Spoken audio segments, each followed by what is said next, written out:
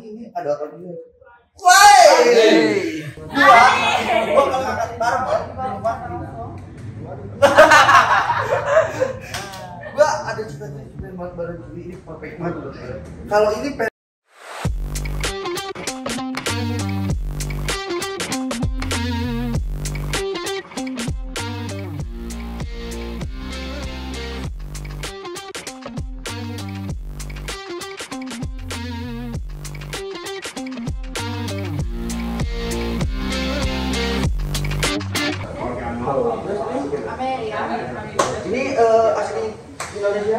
Uh, half Swedish, half Indonesian. Mbaknya asli mana?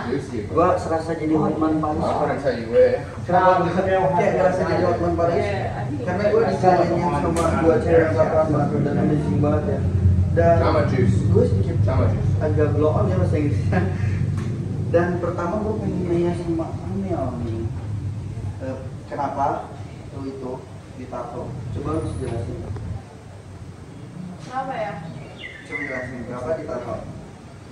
Karena suka aja sih, keren kelihatannya seksi. Oh, karena seksi dan keren. Dia bilang, jadi kalau pengen seksi, kalau pengen keren dia harus ditato. tatoan. Terus gue pengen nanya lagi, ada nggak sih tato lu yang paling bermakna banget di hidup lu? Ada? Ada deh, ini. Apa artinya? Coba, kalau bisa di zoom, bang tolong di zoom coba. Ini tanggal aku, eh tanggal Tanggal eh, meninggal. Oh, siapa yang bilang? My dad, dari kemarin. My daddy, Pak Daddy. Tapi bahasa Indonesia lancar kan? Lancar. Lancar. Dan ada lagi yang bermakna lagi? Ini dia namanya. Bentar. ya. Sama ini nih, apa lagi nih? party animal.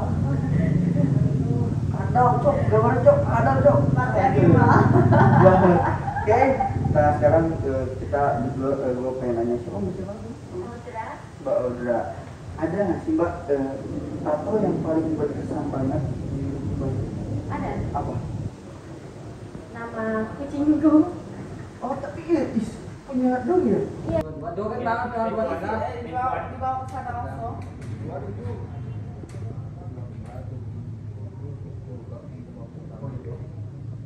Orang mana men?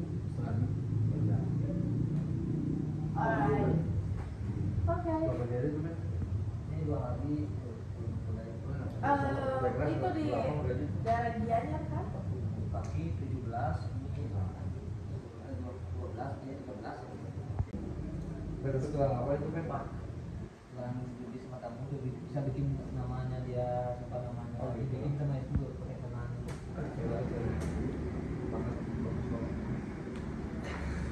Nah, kita balik lagi eh, tanggapan sekeliling Mbak tuh gimana sih mengenai tato yang berlebihan? Menurut gue sih berlebihan ya. Kalau perempuan tuh jarang banget ya ditato sampai banyak karena gue juga terkesannya kalau ngeliat cewek tatoan karena gue selalu diingetin sama ibu gue ketika lu dapat jodoh tuh harus cerminan lo sendiri makanya gue kalau misalkan nih jodoh gue harus tatoan sampai layar apa pun gue siap terima karena gue udah karena diri gue ini seperti ini gitu Ya. ya bodo amat ibu gua mau bilang apa pun yang penting kepengen ibu gua jodoh gua itu cerminan gua jadi mau cewek gua tatanan apa pun yang penting attitude dan gak prinsip gitu sih Iya. Tapi kebanyakan temen kayak orang-orang kalau ngeliat aku, aduh kok galak banget sih itu cewek. Padahal kan belum ngomong. iya Terus setelah mereka kenal aku, akhirnya mereka selalu, oh my god, kamu ya. ternyata apa kayak polos kamu banget. ternyata kamu hantu ternyata- ternyata hantu Dan akhirnya mereka seneng gitu loh, kan? Karena mereka nggak ngeliat dari cover. nah Hmm. dan cover berarti ya. Don't judge book by the cover. ini ini ada apa dia Woi, gua, gua kalau ngangkat barbel di rumah gini. gua ada cita-cita pengen banget badan gini, ini perfect banget loh. Kalau ini pers yang badannya ger dan kalau ini pers yang cewek preman. Coba yang semua gimana coba. Semok dong. Aduh, jadi jadi pengen gitu. Ini jadi pengen makan ya bosku. Pengen makan ya. Soalnya eh, dan tadi tuh dia makanya banyak banget ya. Seneng gitu. Tapi eh, keluarga something ada yang sangat "Uh, gini gini gini ada sih yang dari sebelah mata itu. Kalau awal marah sih, tapi karena sekarang aku punya tato dan ini bisa buat income aku ya kayak aku kerja photoshoot dan karena berkat tato juga dapat duit dan akhirnya aku kasih mereka juga bonus dan sekarang mereka betul-betul. Mantap. Nah. ternyata mbak ini sama kayak aku pribadi gua sedikit jelasin eh, mbak nih sebenarnya perlu teman-teman tahu juga ya karena gua terakhir bukan dari keluarga yang ada dan gua ngerasa sekarang gua udah jadi tulang punggung keluarga tapi Tuhan mungkin ya. Sayang sama gua dan gua dikasih kelebihan gua ditato juga nggak kriminal. Sorry ya gua nggak narkoba gua nggak ngerokok. Minum wajar lah laki-laki. Tapi ingat gak semua orang bersuami itu gak bertanggung jawab kepada keluarga. Setiap gua kerja gua dapat duit buat keluarga. Prinsip hidup gua sekarang bangun untuk bekerja pulang untuk tidur. Karena ingat segala sesuatu itu doa orang tua yang paling mulia Asik. Nggak? benar di balik kunci kesuksesan kita ada orang tua di belakang kita yang support kita. Ingat kalau kita mengeluh wajar. Namanya manusia bukan robot. Ya. jadi jangan pernah putus asa untuk bekerja keras. Ingat harga diri seorang laki-laki itu adalah bekerja keras. Jangan sampai kau morotin perempuan banyak laki-laki di luar sana mungkin ya yang masih jadi kucing kayak morotin perempuan menurut gue sih itu wajar karena lu suatu saat bakal jadi pemimpin rumah tangga yang baik bener kan pasti benar cewek tuh suka sama laki-laki yang bekerja keras loh. Iya. Wow, lebih keren. Nah, kita balik lagi Mbak, Eh, misalkan pernah nggak Mbak pulang ke, ke daerah Malang gitu, kayak Ya. pakai setelan celana pendek itu orang kayak lagi jalan. Banyak dan itu nggak biasa Itu selalu ya, Selalu berarti. selalu itu Sama juga sama Amen. sama. Sama The, Beto tapi kalau before ya, kalau di Swedia itu a fuck ya. Nggak apa-apa kalau di waktu itu kan aku pulang dulu sebelum kemarin aku pulang ke Kalimantan dulu satu minggu. Itu tato aku tuh baru cuma segini nih, cuma segini. Tapi Lihat ya. dilihat Iya, kan ini kan ini kan baru yang pengen lihat. Oh. Ah. Aduh, jadi enak deh. Tapi emang bener sih, gua pernah ya eh, sholat ya, gua musliman, eh, gua ke masjid sholat jumat tiba-tiba pas gua masuk, bocah gitu ya. Ada kita sampai ke. Sini gua bilang sini. Sini gua bilang kenapa? Gua bilang enggak bang, itu gambarnya asli. Ya asli. Sempet gua kejadian sambil speak up masalah tunangan gua kemarin ya. Jadi sebelum gua mau tunangan, jadi gua sempat ke toko emas. Ceritanya gua pakai celana kolor ini dari Dr. X terus pakai kaos. Itu hari Sabtu gua pas beli cincin buat tunangan. Masuklah gua ke toko emas. Pas gua masuk, kenapa Pak? Saya mau cari emas. Oh cari emas, cari apa? Cari cincin lah. Aku bilang, buat apa? Buat lamaran. Oh ya. Masuklah. Pas gua lagi masuk, tiba-tiba ada anak kecil megang-megang kaki gua. Begini, gua ngeliat, "Ih, bocah. Jadi gini, terus, Mbak, kenapa saya lama banget? Sebentar ya mas, kata mbaknya. Oh iya, ini anak kecil tuh udah megang-megang kaki. Ada gambarnya, ada gambar. Ini aku punya Doraemon sama Sun Chip. Aku bilang, ih keren banget ya. Itu gambarnya beneran. Kenapa kak? Di gambar-gambar iya. Dulu pas zaman aku nggak punya buku gambar, jadi gambarnya di tangan. Anak kecil tuh parah banget. Aku bilang, terus udah beli pas gua udah bayar cincin, tiba-tiba mbak eh, kasirnya tuh bilang, "Eh, boleh minta WhatsAppnya? Oh buat apa? Minta aja WhatsAppnya buat data aku data atau mau WA apa? namanya juga kan mungkin kamu kamu ini ya ini gimana ya udah aku kasih lah. Ada ngechat yang ngobrol lah nambah teman silaturahmi gitu kan. Karena gue juga orangnya pengen banyak teman. Benar banget. Kita lanjut lagi ke tato mbak yang paling sakit di bagian mana? Hmm. beda-beda kan sensitif kulit orang tuh? Iya. Tuh, aku lupa. Paling sakit di mana? Mungkin oh di dada. Tapi cewek tuh termasuk yang kuat banget.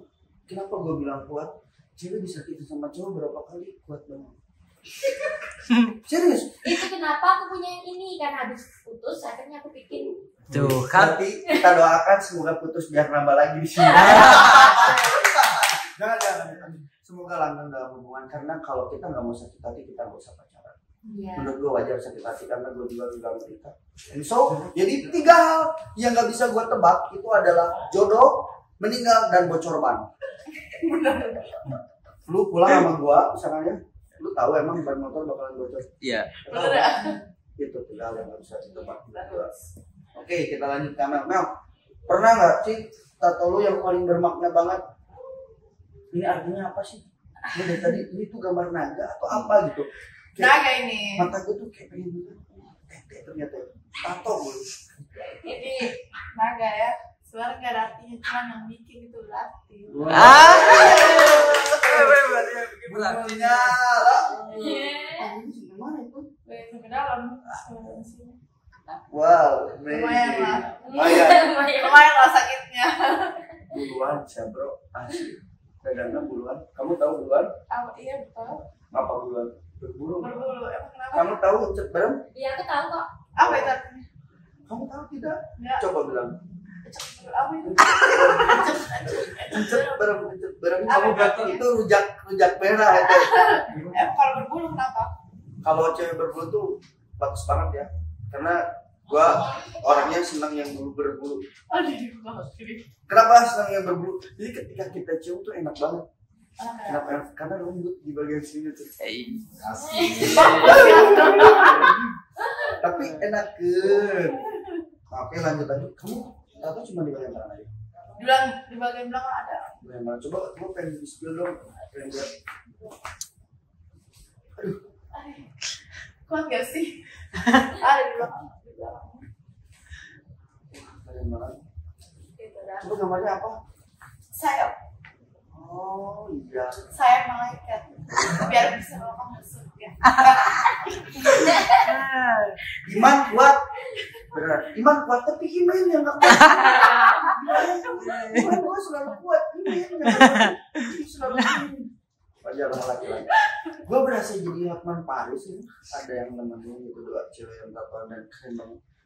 Jujur sih, gue lihat badan mbak ini keren, berotot. Oh, kalau kamu berotot ini keren. Oh, aku mau yang Kalau dia kayak mungkin ke cewek banget ya. iya, Kalau aku agak-agak agak gimana? iya. Tapi punya pasangan. Eh, dulu sekarang kan udah enggak. Oh, sekarang jomblo berarti. Iya. ada lah. Jomblo? Ada yang tahu arti cinta? Di sini? Itu tuh artinya jorang banget sih. Kalau menurut. C-nya cuman, I-nya ingin, E-nya nikmatin, P-nya tubuh, A-nya enggak. Jadi cuman ingin nikmatin tubuh Anda. Anjir. Tapi Parah ya. Iya parah banget. Tapi ibu gue bilang cinta itu bermakna banget. Kenapa bu? Gue bilang cinta itu bermakna. Karena hidup itu berawal dari cinta. Kita cinta lingkungan, cinta orang tua, cinta teman-teman, cinta pekerjaan kan itu benar kan hidup berawal dari cinta. Makanya ada orang yang bilang cinta itu bla bla itu nggak nggak bener banget. Karena kita hidup tuh penuh penuh cinta ya, perlu dan perlu cinta banget. Dan mungkin Enggak, gue udah spill juga beberapa tatonya dari mbaknya, terus dari ikan dah, mbaknya. Ini kamu orang Kalimantan, orang Malang. Tetap ya, mau kita orang mana pun kita saudara karena kita tinggal di Indonesia, oke? Tetap jadi orang yang berguna. Ayo semangat, tetap menjadi orang yang lebih baik. Dan kita semua itu harus buktiin kepada semua orang kalau orang tatoan itu nggak brengsek dan nggak buruk. Oke? Kita juga nggak mau dong kalau kita lagi jalan tiba-tiba orang anjing itu ditato apa bagus gak bisa gitu dong. Karena jangan dikirain kayak rampok ya. iya gua pernah sih masuk ke kayak ke mall itu lihat anjing ditato menjadi apa. Ya mau jadi orang lah buktinya gua sekarang bisa sukses kok. Bener kan? Bisa. Bener nggak? Benar. Katanya orang tatoan nggak bisa kerja nih bro gua ngasih tahu. Mau lu tatoan mau lu gimana yang penting lu punya skill dan punya kemauan. Gini aja deh hidup lu berawal dari bangun pagi itu aja udah ada kemauan. Kita mau sukses ya harus kerja keras. Di mana ada orang sukses kerja tidur doang? Nggak bisa. Banyak juga kan pengen sukses olahraga terus lihat badan gitu pengen gemuk makan. Tiga kali tadi makan. Tiga Iya. kali. Saya emang banget sih. ini karena pengen pantatnya bisa ini Biar saya gue dari tadi sih nahan iman ini beneran. Gak kuat. makanya pengen. Nanti ya nanti malam ya. Enggak bercanda nah kelihatan kan brengseknya gue tuh seperti itu. Karena ada pilihan cowok itu kalau nggak brengsek ya homo. Gue termasuk cowok yang brengsek banget. Dan ibu gue bilang lu tuh cowok brengsek. Tapi berarti kalau anaknya brengsek mama brengsek anjing kata gue enak aja katanya gitu sih ibu gue selalu bilang gitu. Tapi saran sih ya pesan-pesan buat anak muda mbak. Apa coba ada pesan nggak buat anak muda sekarang nih? Oh, pesannya ya udah apa apa pilihanmu lakukan aja. Don't care about it, what people think or what people say. Oke, good. dari Amel apa eh, pesan-pesannya buat anak muda sama sih kalau misalnya aku just don't give a fuck about it just care about yourself just do whatever you want Gila, pesan-pesan gua nih buat yang belum ditato. Ingat, tato itu adalah sebuah pilihan hidup. Sekali ini kita melangkah nggak bisa mundur lagi. Jadi kalau mau ditato itu jangan cuma buat gaya-gayaan aja bro. Kita tuh harus tahu ke depannya seperti apa dan harus sudah siap. Oke? Jadi pokoknya gua sekarang lagi ngonten juga nih di studio tatonya di Bali nih di tim. Boleh di spillin coba Pak Iqbal nih ada eh, tim gua juga nih. Jadi buat teman-teman ada rekomendasi banget harga tato kalian bisa langsung cek nanti alamatnya gue masukin di YouTube oke. Jangan lupa juga di Sobleker subscribe uh, Paralasim 168 karena ini channel pertama gue lagi dan yang dulu udah so udah bye bye. Oke, sampai ketemu lagi di lain waktu. Semoga kalian semua sehat walafiat dan banyak rezekinya selalu dilancarkan. Yuh. Nice.